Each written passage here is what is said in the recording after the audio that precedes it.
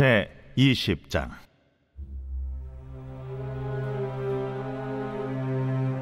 여호와께서 여호수아에게 말씀하여 이르시되 이스라엘 자손에게 말하여 이르기를 내가 모세를 통하여 너희에게 말한 도피성들을 너희를 위해 정하여 부지 중에 실수로 사람을 죽인 자를 그리로 도망하게 하라. 이는 너희를 위해 피해 보복자를 피할 것이니라.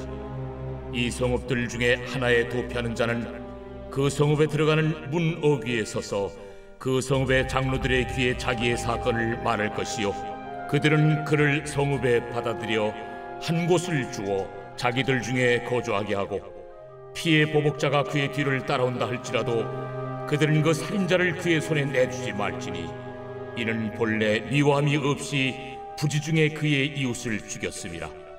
그 살인자는 회중 앞에 서서 재판을 받기까지 또는 그 당시 대제사장이 죽기까지 그 성읍에 거주하다가 그 후에 그 살인자는 그 성읍 곧 자기가 도망하여 나온 자기 성읍 자기 집으로 돌아갈지니라 하라. 이에 그들이 납달리의 산지 갈릴리 게데스와 에브라임 산지의 세겜과 유다 산지의 기럇 아르바 곧 헤브론과 여리고 동쪽 요단 저쪽 루벤 지파 중에서 평지 광야의 베셀과 갓 지파 중에서 길르앗 라못과 문하세 지파 중에서 바산 골란을 구별하였으니 이는 곧 이스라엘 모든 자손과 그들 중에 거류하는 거류민을 위하여 선정된 성읍들로서 누구든지 부지 중에 살인한 자가 그리로 도망하여 그가 회중 앞에 설 때까지 피해 보복자의 손에 죽지 아니하게 하기 위함이라. 제 21장 그때에 레위 사람의 족장들이 제사장 엘라살과 눈의 아들 여호수아와 이스라엘 자손의 지파 족장들에게 나와 가나안 땅 실로에서 그들에게 말하여 이르되 여호와께서 모세에게 명령하사 우리가 거주할 성읍들과 우리 가축을 위해 그 목초지들을 우리에게 주라 하셨나이다. 하매 이스라엘 자손이 여호와의 명령을 따라 자기의 기업에서 이 성읍들과 그 목초지들을 레위 사람에게 주니라.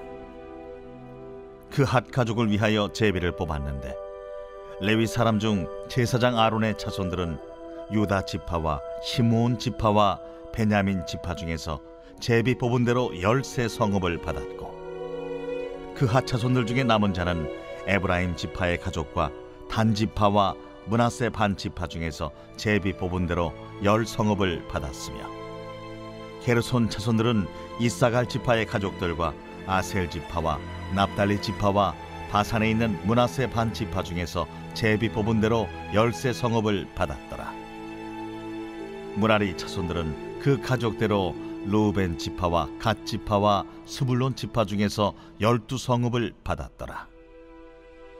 여호와께서 모세에게 명령하신 대로 이스라엘 자손이 제비 뽑아 레위 사람에게 준 성읍들과 그 목초지들이 이러하니라.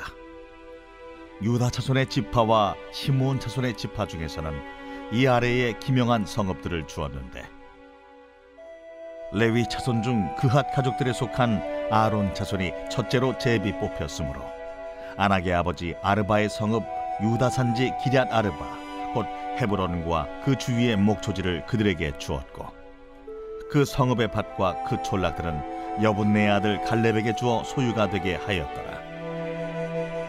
제사장 아론의 자손에게 준 것은 살인자의 도피성 헤브론과 그 목초지이요 또 림나와 그 목초지와 야델과 그 목초지와 에스드모아와 그 목초지와 홀론과 그 목초지와 드빌과 그 목초지와 아인과 그 목초지와 유다와 그 목초지와 베세메스와 그 목초지이니 이 두 지파에서 아홉 성읍을 냈고 또 베냐민 지파 중에서는 기브온과 그 목초지와 게바와 그 목초지와 아나돗과 그 목초지와 알몬과 그 목초지 곧 네 성읍을 냈으니 제사장 아론 자손의 성읍은 모두 열세 성읍과 그 목초지들이었더라.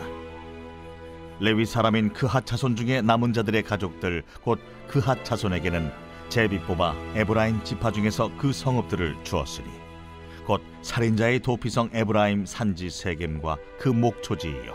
또 게셀과 그 목초지와 깁사임과 그 목초지와 베토론과 그 목초지이니 내 성읍이요.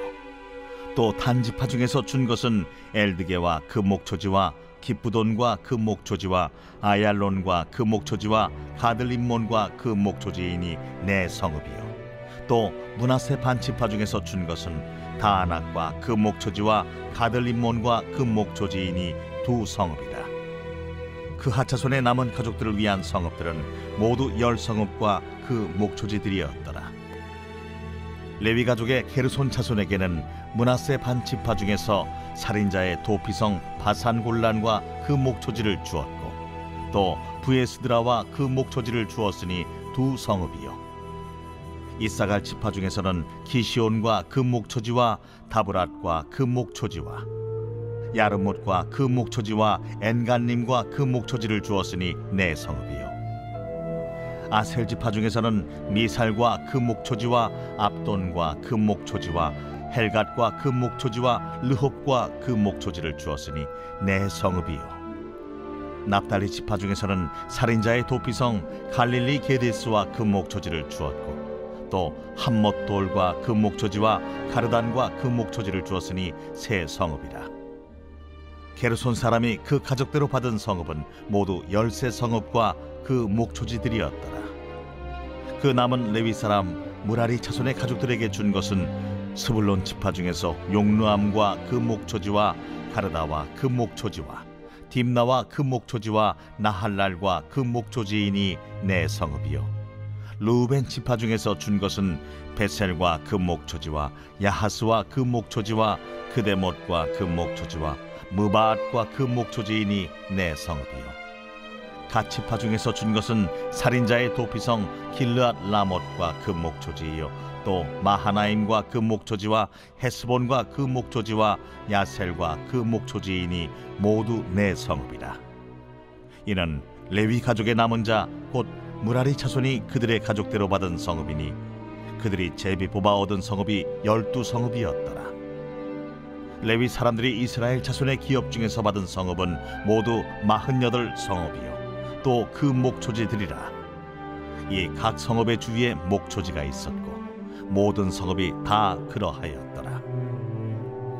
여호와께서 이스라엘의 조상들에게 맹세하사 주리라 하신 온 땅을 이와 같이 이스라엘에게 다 주셨으므로 그들이 그것을 차지하여 거기에 거주하였으니 여호와께서 그들의 주위에 안식을 주셨을 때 그 조상들에게 맹세하신 대로 하셨으므로 그들의 모든 원수들 중에 그들과 맞선 자가 하나도 없었으니 이는 여호와께서 그들의 모든 원수들을 그들의 손에 넘겨 주셨음이니라. 여호와께서 이스라엘 족속에게 말씀하신 선한 말씀이 하나도 남음이 없이 다 응하였더라.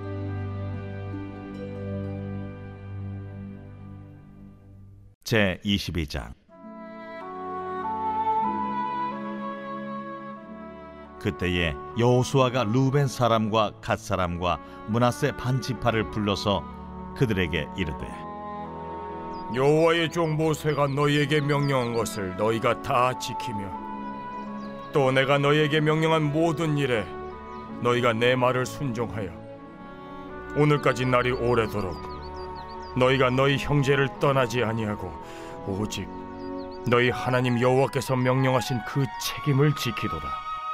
이제는 너희의 하나님 여호와께서 이미 말씀하신 대로 너희 형제에게 안식을 주셨으니 그런즉 이제 너희는 여호와의 종 모세가 요단 저쪽에서 너희에게 준 소유지로 가서 너희의 장막으로 들어가되 오직 여호와의 종 모세가 너희에게 명령한 명령과 율법을 반드시 행하여 너희의 하나님 여호와를 사랑하고 그의 모든 길로 행하며 그의 계명을 지켜 그에게 친근히 하고 너희의 마음을 다하며 성품을 다하여 그를 섬길지니라 하고 여호수아가 그들에게 축복하여 보내매 그들이 자기 장막으로 갔더라. 문하세 반지파에게는 모세가 바산에서 기업을 주었고 그 남은 반지파에게는 여호수아가 요단 이쪽 서쪽에서 그들의 형제들과 함께 기업을 준지라 여호수아가 그들을 그들의 장막으로 돌려보낼 때에 그들에게 축복하고 말하여 이르되 너희는 많은 재산과 힘이 많은 가축과 은과 금과 구리와 쇠와 힘이 많은 의복을 가지고 너희의 장막으로 돌아가서 너희의 원수들에게서 탈취한 것을 너희의 형제와 나눌지니라. 루벤 자손과 갓 자손과 문하세 반 지파가 가나안 땅 실로에서 이스라엘 자손을 떠나 여호와께서 모세에게 명령하신 대로 받은 땅 곧 그들의 소유지 길르앗으로 가니라. 루벤 자손과 문하세 반 지파가 가나안 땅 요단 언덕가에 이르자. 거기서 요단가에 제단을 쌓았는데 보기에 큰 제단이었더라. 이스라엘 자손이 들은즉 이르기를. 루벤 자손과 갓 자손과 문하세 반 지파가 가나안 땅의 맨 앞쪽 요단 언덕가 이스라엘 자손에게 속한 쪽에 제단을 쌓았다. 이스라엘 자손이 이를 듣자 곧 이스라엘 자손의 온 회중이 실로에 모여서 그들과 싸우러 가려 하니라. 이스라엘 자손이 제사장 엘라살의 아들 비느하스를 길르앗 땅으로 보내어 루벤 자손과 갓 자손과 문하세 반지파를 보게 하되 이스라엘 각 지파에서 한 지도자씩 열 지도자들을 그와 함께하게 하니 그들은 각기 그들의 조상들의 가문의 수령으로서 이스라엘 중에서 천부장들이라. 그들이 길르앗 땅에 이르러 루벤 자손과 갓 자손과 문하세 반지파에게 나아가서 그들에게 말하여 이르되 여호와의 온 회중이 말하기를 너희가 어찌하여 이스라엘 하나님께 범죄하여 오늘 여호와를 따르는 데서 돌아서서 너희를 위하여 제단을 쌓아 너희가 오늘 여호와께 거역하고자 하느냐 부올의 죄악으로 말미암아 여호와의 회중에 재앙이 내렸으나 오늘까지 우리가 그 죄에서 청결함을 받지 못하였거늘 그 죄악이 우리에게 부족하여서 오늘 너희가 돌이켜 여호와를 따르지 아니하려고 하느냐? 너희가 오늘 여호와를 배역하면 내일은 그가 이스라엘 온 회중에게 진노하시리라. 그런데 너희의 소유지가 만일 깨끗하지 아니하거든 여호와의 성막이 있는 여호와의 소유지로 건너와 우리 중에서 소유지를 나누어 가질 것이니라. 오직 우리 하나님 여호와의 제단 외에 다른 제단을 쌓음으로 여호와를 거역하지 말며 우리에게도 거역하지 말라. 세라의 아들 아간이 온전히 바친 물건에 대하여 범죄함으로 이스라엘 온 회중에 진노가 임하지 아니하였느냐? 그의 죄악으로 멸망한 자가 그 한 사람만이 아니었느니라. 루벤 자손과 갓 자손과 문하세 반지파가 이스라엘 천천의 수령들에게 대답하여 이르되 전능하신 자 하나님 여호와 전능하신 자 하나님 여호와께서 하시나니 이스라엘도 장차 알리라. 이 일이 만일 여호와를 거역함이거나 범죄함이거든 주께서는 오늘 우리를 구원하지 마시옵소서 우리가 제단을 쌓은 것이 돌이켜 여호와를 따르지 아니하려 함이거나 또는 그 위에 번제나 소제를 드리려 함이거나 또는 화목 제물을 드리려 함이거든 여호와는 친히 벌하시옵소서. 우리가 목적이 있어서 주의하고 이같이 하였노라. 곧 생각하기를 후일에 너희의 자손이 우리 자손에게 말하여 이르기를 너희가 이스라엘 하나님 여호와와 무슨 상관이 있느냐? 너희 르우벤 자손 갓 자손아 여호와께서 우리와 너희 사이에 요단으로 경계를 삼으셨나니 너희는 여호와께 받을 분깃이 없느니라 하여 너희의 자손이 우리 자손에게 여호와 경유하기를 그치게 할까 하여 우리가 말하기를 우리가 이제 한 제단 쌓기를 준비하자 하였노니 이는 번제를 위함도 아니요 다른 제사를 위함도 아니라 우리가 여호와 앞에서 우리의 번제와 우리의 다른 제사와 우리의 화목제로 섬기는 것을 우리와 너희 사이와 우리의 후대 사이에 증거가 되게 할 뿐으로써 너희 자손들이 후일에 우리 자손들에게 이르기를 너희는 여호와께 받을 분깃이 없다지 못하게 하려 함이라.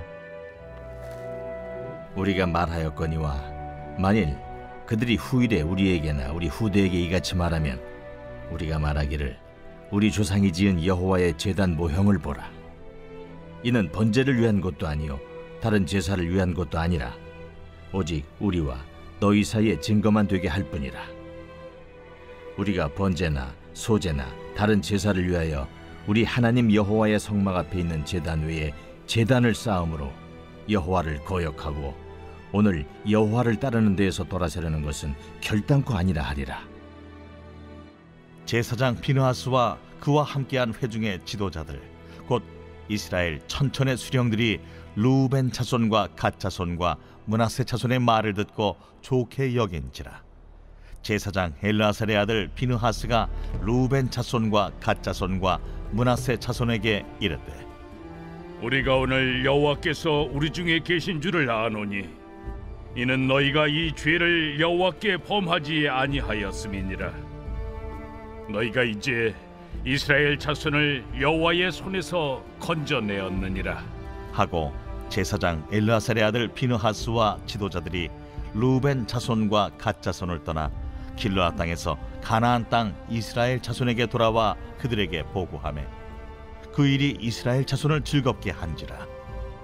이스라엘 자손이 하나님을 찬송하고 루벤 자손과 갓 자손이 거주하는 땅에 가서 싸워 그것을 멸하자 하는 말을 다시는 하지 아니하였더라. 루벤 자손과 갓 자손이 그 제단을 에시라 불렀으니.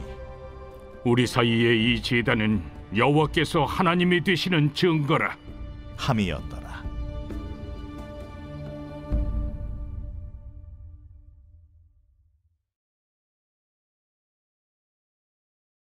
제 81편 아삽의 시 인도자를 따라 깃딧에 맞춘 노래.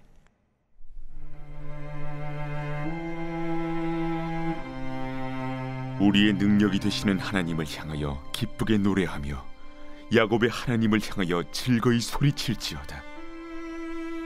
실을 읊으며 소구를 치고 아름다운 수금의 비파를 아우를지어다. 초하루와 보름과 우리의 명절에 나팔을 불지어다 이는 이스라엘의 율례요 야곱의 하나님의 규례로다. 하나님이 애굽 땅을 치러 나아가시던 때에 요셉의 족속 중에 이를 증거로 세우셨도다. 거기서 내가 알지 못하던 말씀을 들었나니 이르시되 내가 그의 어깨에서 짐을 벗기고 그의 손에서 광주리를 놓게 하였도다. 내가 고난 중에 부르짖음에 내가 너를 건졌고 우레 소리의 은밀한 곳에서 내게 응답하며 무리바 물가에서 너를 시험하였도다. 내 백성이여 들으라. 내가 내게 증언하리라. 이스라엘이여 내게 듣기를 원하노라. 너희 중에 다른 신을 두지 말며 이방 신에게 절하지 말지어다. 나는 너를 애굽 땅에서 인도하여 낸 여호와 내 하나님이니 내 입을 크게 열라. 내가 채우리라 하였으나 내 백성이 내 소리를 듣지 아니하며 이스라엘이 나를 원하지 아니하였도다.